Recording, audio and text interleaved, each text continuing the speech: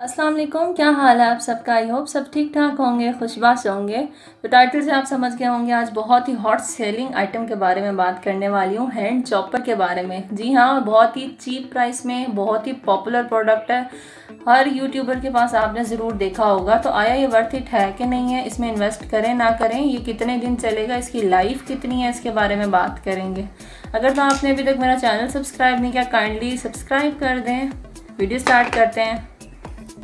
इसको मैंने मंगवाया है दराज ऑनलाइन से। वहाँ 250 से लेके 400 के बीच में डिफरेंट लोग बेच रहे हैं और रिव्यू बहुत अच्छा है। फाइव स्टार फोर स्टार है।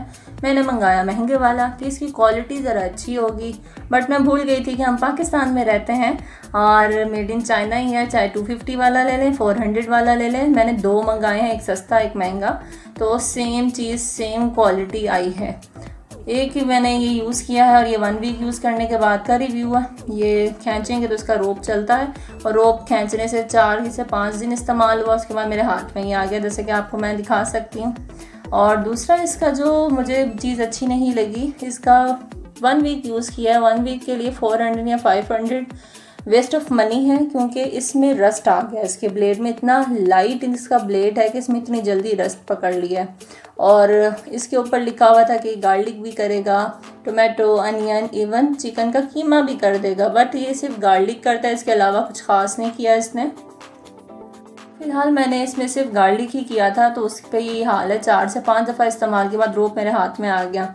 फिर मैंने सोचा क्या इसको शेयर करूँ आपके साथ या ना करूँ। फिर मुझे ख्याल आया कि हो सकता है रिपेयरेबल हो, इसको रिपेयर करने की कोशिश करते हैं। फिर मैंने इसको चेक किया तो इसमें कोई स्क्रू नाम की चीज़ नहीं थी।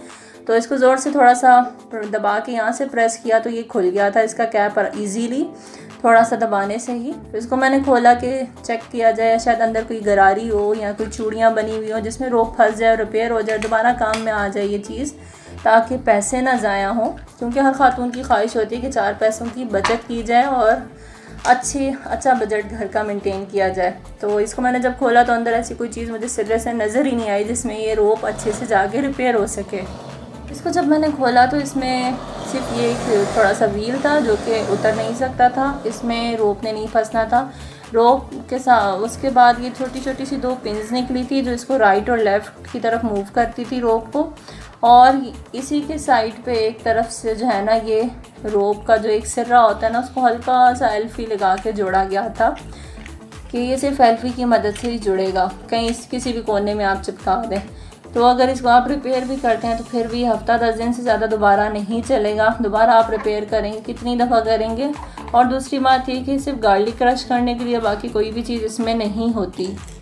तो ऑनेस्टली मेरे हिसाब से बिल्कुल ही फेल चीज़ है। अगर आपने इन्वेस्ट करना है तो किसी अच्छी क्वालिटी के उसमें कर लें, लेकिन ये हैंड चॉपर चाहे आप वो बड़े साइज़ में लें, छोटे में लें रोप का, उसमें रिंग वगैरह जब तक नहीं बना हुआ तो इसकी मजबूती का कोई गारंटी नहीं है तो ये ऐसे ही निकल आएगा और पैसे बिल्कुल डूब जाएँगे तो बहुत ही डिसअपॉइंट हुई मैं इसको देख के।